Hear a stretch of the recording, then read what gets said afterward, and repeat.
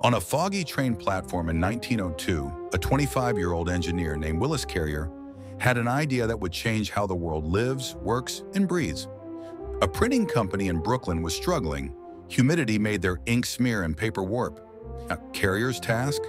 Find a way to control the air. He designed a system that cooled air by passing it over cold coils, which also removed moisture.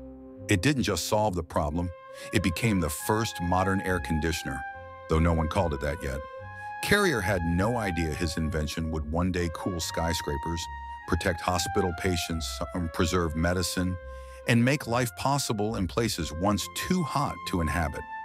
At first, air conditioning was for factories, then theaters, then homes. His system reshaped architecture, powered economic growth in the American South, and turned comfort into a science.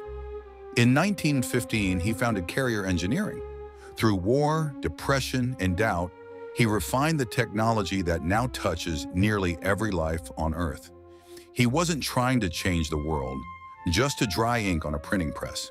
But in solving one problem, Willis Carrier reshaped how we live, breathe, build, and thrive. If you liked this story and want more, please subscribe and give us a like.